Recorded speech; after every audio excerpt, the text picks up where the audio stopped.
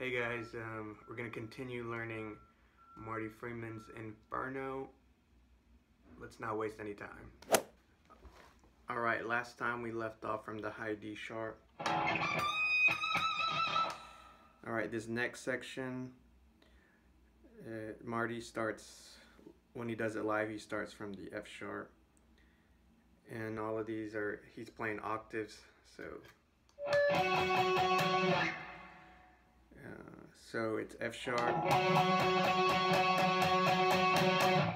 then G sharp to A, then to C,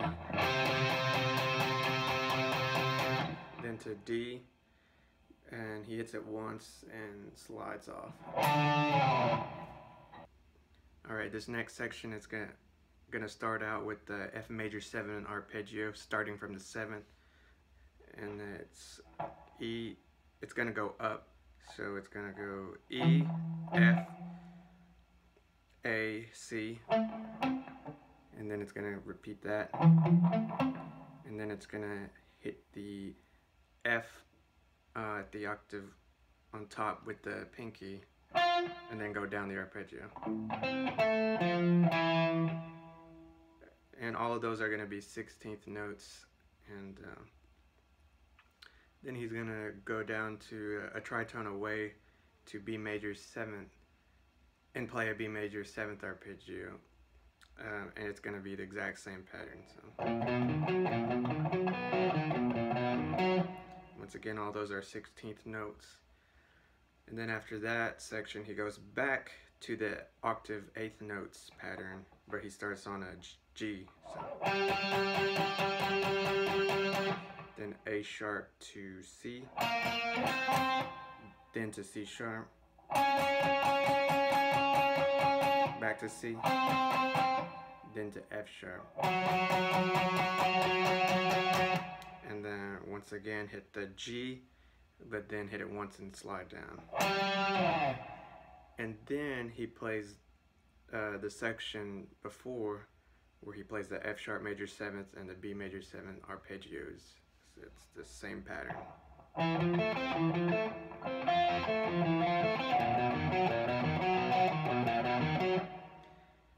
Alright, let's review that whole section slow.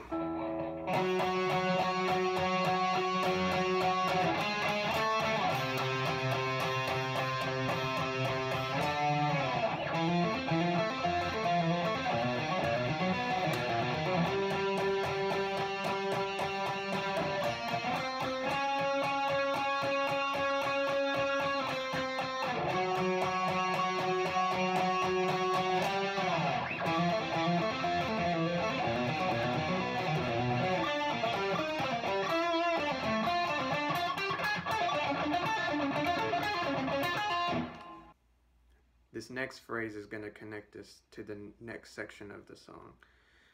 And it starts out with a D, then to a B flat, to an A, to a G, then to a E flat, to a C, to a B flat, to G, then E, D, C, A, F, D,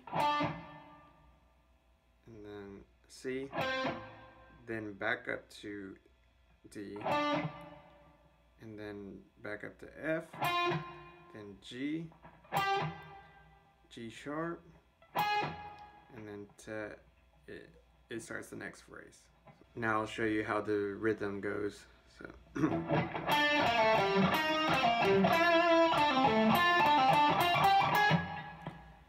Once again.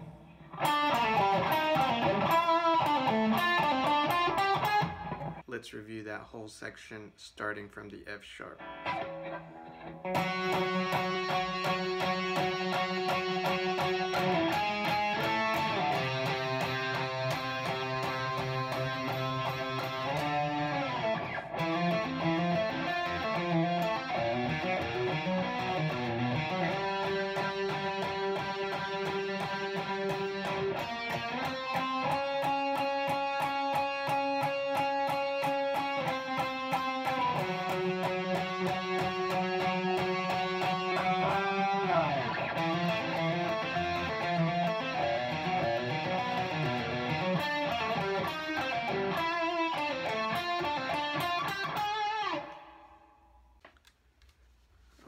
This next section is where the fun begins. Um, there's going to be a lot of arpeggios. I'll try my best in explaining it. Uh, the first arpeggio is going to be a D minor with the major seventh. And it starts from the fifth chord tone, which is going to be A. It's going down to F, then to D, to C sharp, back up to D, to F, and then it repeats that the those notes again. And then when it, it goes back to the A and does a pull off to F then goes to the next arpeggio. Uh, so it's uh, and then it goes to this D flat major 7 arpeggio. So it's uh, going to be A flat. Starts from the fifth as well. Uh, A flat. To F. To D flat. To C. Back to D flat. To F. And then to A flat. And then pulls off to F. So it's kind of like the pattern previous to the previous arpeggio, but it only cycles through the arpeggio once. So together it's going to be...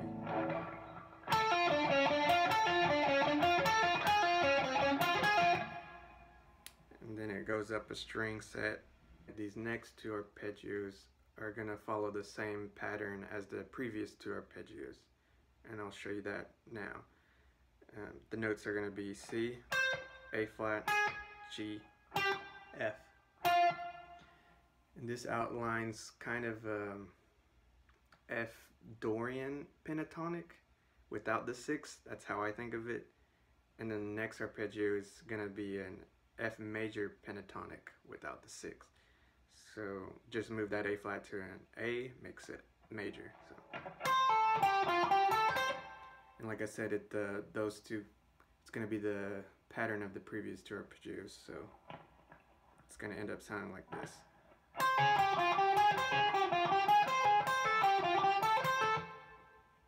These next two arpeggios are going to be the exact same patterns. So I'll just go ahead and show you those. It's going to be an A major pentatonic without the sixth. That's how I'm thinking about it. You can think about it, you can think of it as an A major with an add 9 or add 2 whatever you want to think of it. So it's E, C sharp, B, and A. And the next one, it's gonna be like a A Lydian chord or arpeggio with the major seven. So it's gonna be D sharp, C sharp, A, and G sharp. And it's gonna follow the same pattern. So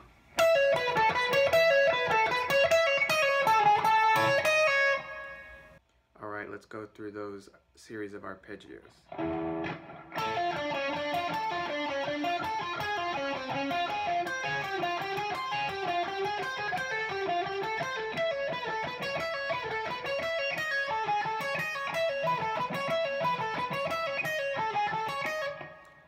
And I forgot to mention the, the last two arpeggios are going to repeat uh, twice at the end. So, and then um, and that whole section repeats again so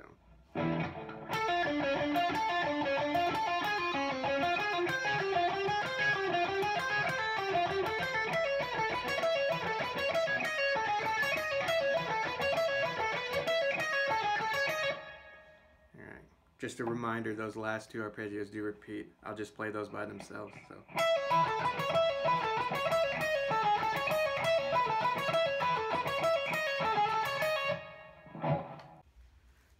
This next section really demonstrates how Marty's playing is very unique, exotic, and how he differs from other guitar players. I'm not gonna do too much explaining on this this, this part because we it this video would go way too long. So I'm gonna show you the notes of the scale, and I'll also have the tab up so you can just follow along. I'll just play it slowly. Um, so it starts out with the E flat, Hirajoshi scale, I'll just show you the notes. It's a E flat, B, B flat to G flat to F to E flat to B, B flat.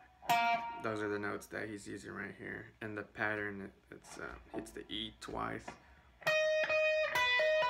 Hammer on.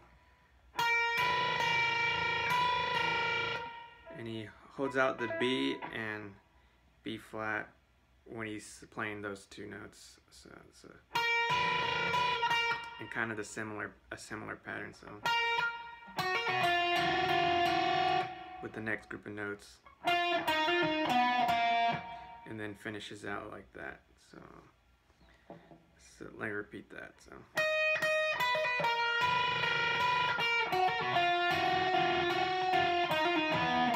The next little lick is gonna start from the B flat, go to E flat, to G flat, up to G flat. So, in triplets. So, and then F to B.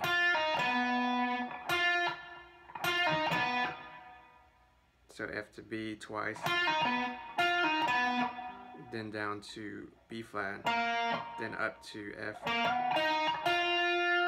bends the F up half a step to G flat, then hits the G flat again. So that sec little section is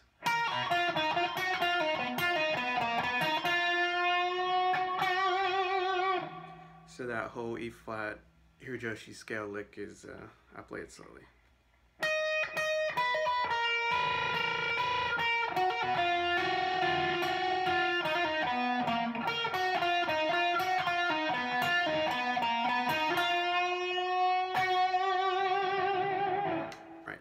Section is going to be uh, really Marty-ish. Starts out with the G flat major 7th arpeggio starting from the seventh, going up to the D flat. So it's going to start from F and go up to the D flat. So it's going to do that twice. Then to D, to E flat, to G flat, then to B flat, then to G. Uh, G bends up to an A flat then F to to A flat, then bend F up to a G flat, then E flat to D, and then bend the D up to a. And when you hit the D, you bend it up to an E flat.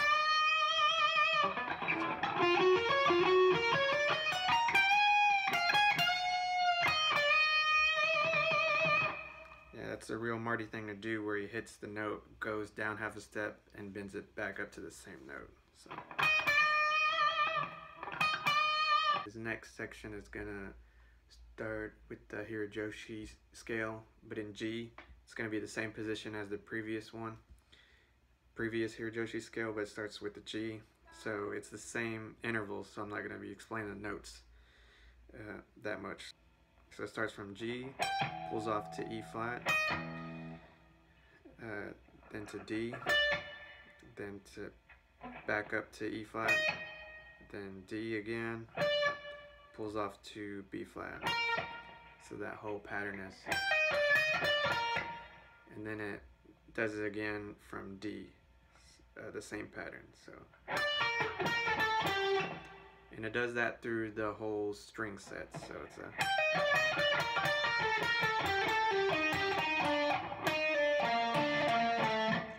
but when you get to the E flat on the third, or sorry, the fourth string, he repeats that, those notes again. So it's, and then he just goes down the Hirajoshi scale without the pattern, just G, E flat, and then D. So I'm gonna play that that whole uh, series of notes slow for you.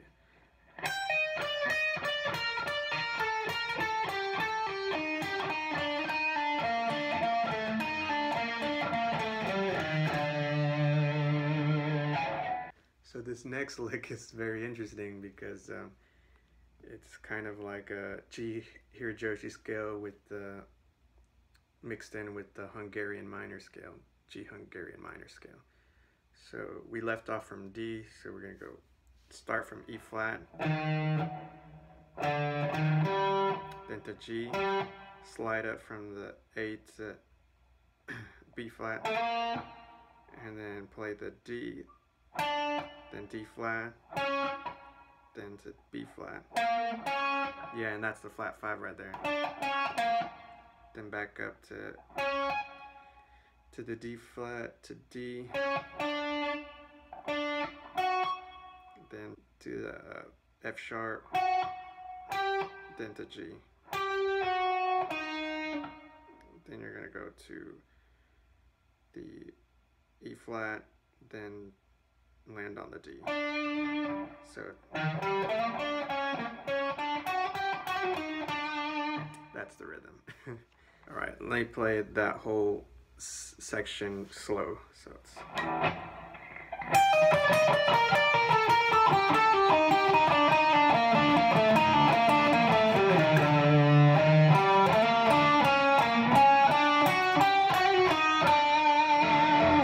This next series of notes are going to be from the G minor natural scale, and they're going to be 16th notes, majority of them. And it's going to start from E flat, hammer on and pull off from F to pull off to D, uh, run up back to the F, to G, to B, to A, to B flat, then pull off back to the G, then back up to the B flat, and then to C, D, and then um, once you hit the D, this is where you do a 16th triplet hammer-on pull-off from the E flat so to and and then pull off to the C, then back up to the E flat, and then once you hit the F on the second string, you slide positions from F to G, bam. There's your G minor from the root. And then you go up the G minor scale up to the D. And just like when you were at the octave below with this D you do the 16th triplet from the E flat and then you slide up to the F and then you hit the F again but you bend it up to a G and then you go to the G and bend that up as well to an A. So let me run through that whole scale um, scale pattern. So it's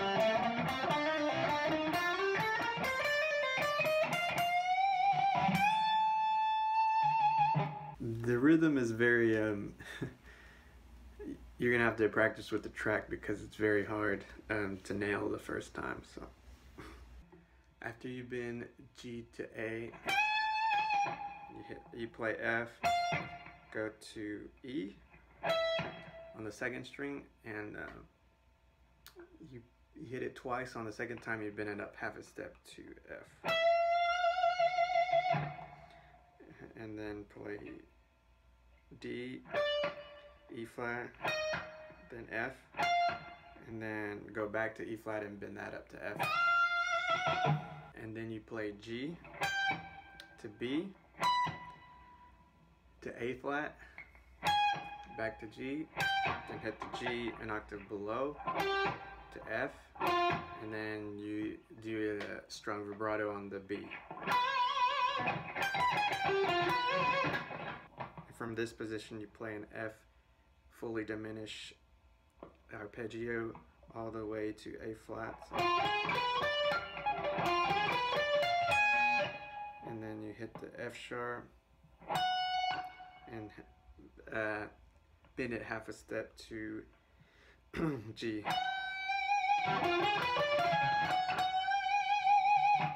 Play that whole section, so it's... Oh, sorry.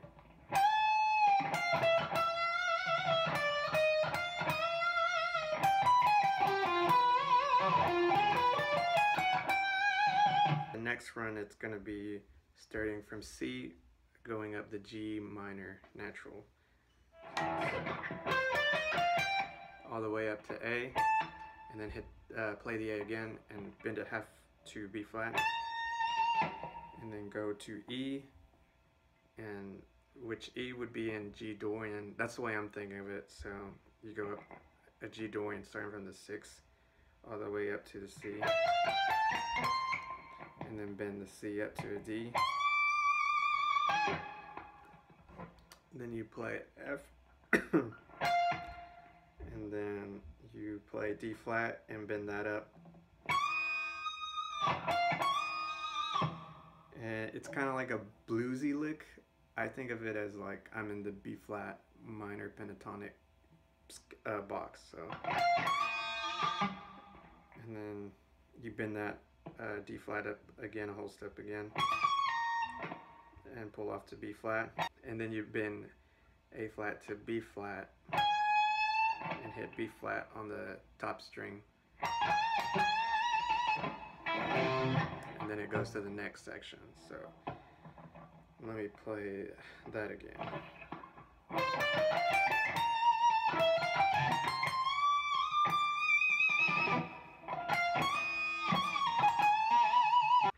Uh, I think I, I forgot to explain that after you played the after you bend the the C to D, D I think he slides that to the D and hits the D again.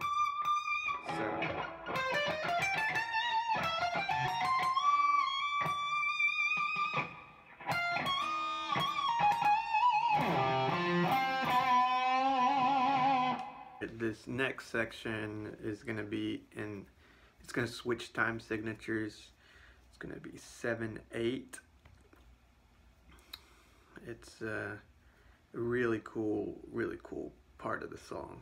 I really I really dig this part right he starts from C plays the F and then the C at the octave goes half a step down to B and bends that up to C then plays this same uh, motif again, then plays C to C sharp, and plays that motif again, then plays C sharp to D, he bends it up to D, then he switches positions, from, then he hammers on E flat back to D, then C, then D, E flat, B flat, then slides down to a G, then E flat to F, then D to B flat, slides down to uh, F, and then D to E flat, to C, F, A, C, and then bends D to E flat,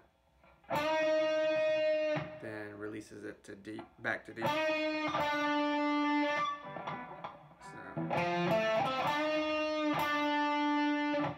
then C to B flat, back to C, and then ends that phrase on D.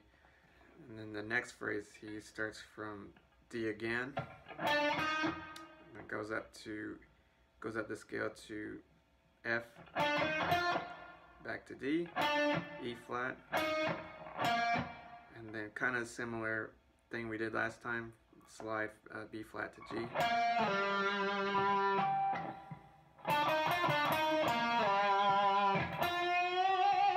Then bends F to G, then hits the G on the second string, and plays A. Then hits the D. Well, after he hits the A, he goes back to F, then to D.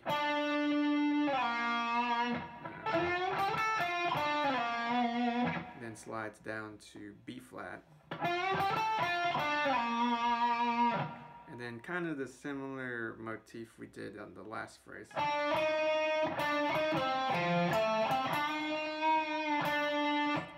And, but instead of going back to D, it's uh, C, B flat, A, and then B flat.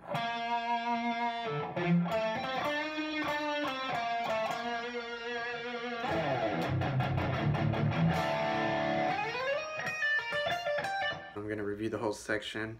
And when he does the bends at first, uh, he does his Marty double bend thing. So it's like for those for the for that phrase um, on the notation or tab, it doesn't. I didn't know how to notate it, so it just shows one bend. But keep that in mind. So.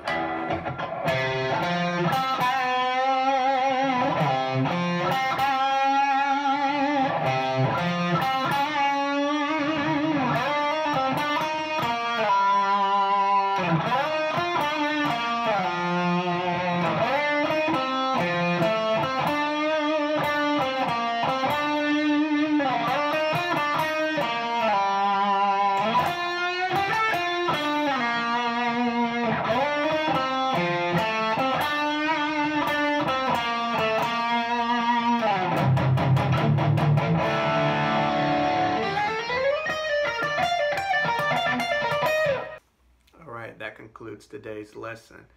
Hopefully you got something out of it. Hopefully I explained everything clearly and thoroughly. Um, I have the transcription on the screen like last video, uh, so if I said something wrong, the transcription will be right, and you can look off of that. And if uh, you want more stuff like this, then uh, subscribe to my channel or comment, let me know.